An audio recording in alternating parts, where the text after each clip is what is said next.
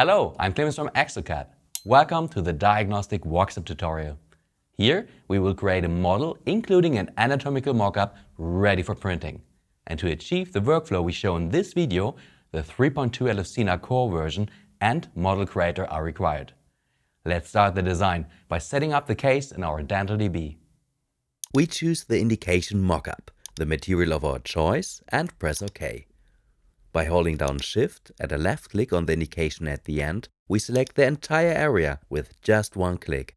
After we have saved the setup, we click directly on Model Creator. Here, the model type Digital Mockup Model is already pre-selected. We can adjust the height we want and click Next. Also, we can use the Virtual Articulator if we have the model activated. This is useful when you want to raise the bite before making a mockup model. In this step, we can choose whether we want to use the SMILE creator for facially driven design or design using the existing patient teeth, which we can do using segmentation. We click on Skip to do the traditional way, which will allow us to use a library. Here we set two click points for the initial placement of the teeth, what will give us a rough placement to continue with. In the next step, we can further adjust the placement of the teeth. We recommend using the chain mode here, this way, we can place, scale and rotate the entire group together.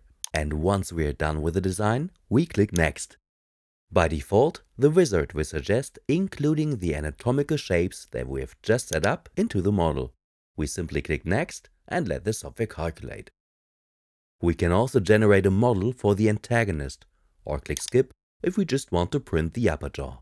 If you desire, you can add support pins, articulator slots, drain holes or text, such as the patient's name in this step. With a final click on Next, we finish the design and proceed with the printing process. If you have already installed a printer software from that list, a dedicated button will automatically appear in our software. This way, you can select files and material you want to send to the printer with just a few clicks and the transfer starts right away. In our expanding list of supported 3D printers, you can see many devices from our partners that we have already connected to provide smooth and seamless integration. We hope you enjoyed this tutorial. If you'd like to learn more about the indication mockup or virtual waxup, we have dedicated tutorials linked in the description for you. Thank you for watching and see you soon. If you'd like to learn more, our resellers are always happy to help. And in case you are looking for one-to-one -one training from one of our Exocad experts, visit our webshop shop.exocad.com and book your personalized training online. Select from a variety of topics like DentalCAD or Exoplan Core Basics, release highlight introductions, module how-tos, question and answer sessions, system checkups, and more.